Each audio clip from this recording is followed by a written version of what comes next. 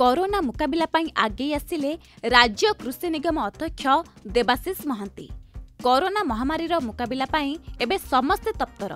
ବିଶ୍ୱରେ ବ୍ୟାପି ଚାଲିଥିବା କରୋନା ଭାଇରସ ମୁକାବିଲା କରିବା ନିମନ୍ତେ ମାନ୍ୟବର ମୁଖ୍ୟମନ୍ତ୍ରୀ ନବୀନ ପଟ୍ଟନାୟକ ତିନି ମାସର ଦରମା ରିଲିଫ୍ ପାଣ୍ଠିକୁ ଦାନ କରି ଉଦାହରଣ ସୃଷ୍ଟି କରିଛନ୍ତି। ଏଥିସହିତ ଦଳର ସମସ୍ତ ସଦସ୍ୟମାନଙ୍କୁ ତାଙ୍କ ଦରମା ରାଶି ମୁଖ୍ୟମନ୍ତ୍ରୀ ରିଲିଫ୍ ପାଣ୍ଠିକୁ ଦାନ କରିବାକୁ ସେ ଆହ୍ୱାନ ଦେଇଥିଲେ।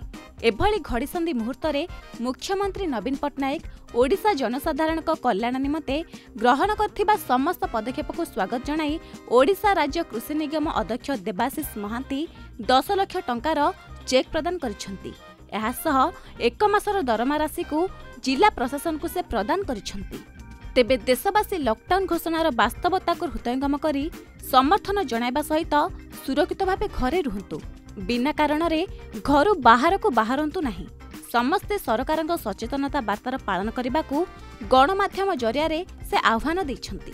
ଆଜି କୋଭିଡ଼ ନାଇଣ୍ଟିନ୍ର ମୁକାବିଲା କରିବା ପାଇଁ ଓଡ଼ିଶା ସରକାରଙ୍କର ମାନ୍ୟବର ମୁଖ୍ୟମନ୍ତ୍ରୀଙ୍କ ରିଲିଫ୍ ଫଣ୍ଡକୁ ଓଡ଼ିଶା କୃଷି ଶିଳ୍ପ ନିଗମ ତରଫରୁ ଦଶ ଲକ୍ଷ ଟଙ୍କାର ଚେକ୍ ଗୋଟେ ପ୍ରଦାନ କରାଗଲା ଏବଂ ତତ୍ସହିତ ମୁଁ ପଚାଶ ହଜାର ଟଙ୍କା ମୋ ଦରମାରୁ ମୟୂରଭଞ୍ଜ ଜିଲ୍ଲାପାଳଙ୍କୁ କୋଭିଡ଼ ମୁକାବିଲା ନାଇଣ୍ଟିନ୍ ମୁକାବିଲା କରିବା ପାଇଁ ଜିଲ୍ଲା ପ୍ରଶାସନକୁ ପ୍ରଦାନ କଲେ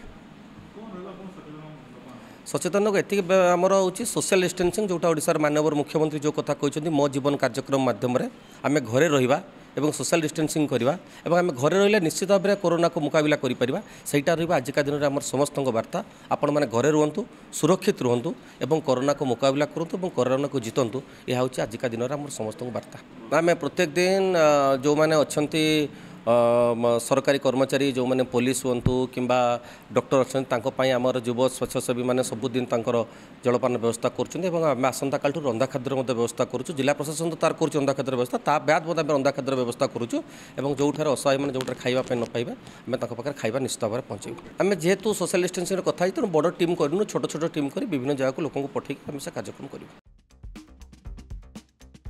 ମୟୂରଭଞ୍ଜରୁ ଘାସିରାମ ବେହେରାଙ୍କ ରିପୋର୍ଟ ଓଏନ୍ଏ ଖବର